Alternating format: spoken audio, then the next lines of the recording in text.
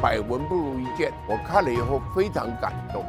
我们都在街上看过比亚迪的车，但是总是要知道，在这些好评的背后，它能够创新、能够进步，真正的源头在哪里？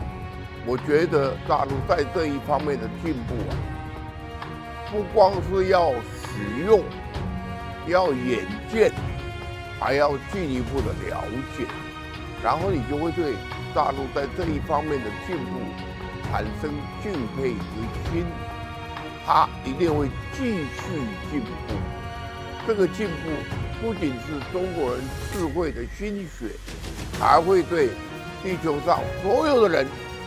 造成贡献，比亚迪现在还不能卖到台湾去，我觉得很可惜。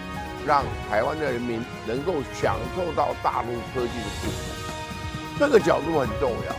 不要老是呃采取对立呀或隔离呀，要替老百姓着想，要让台湾人民也可以享受大陆文明的进步、科技的改善。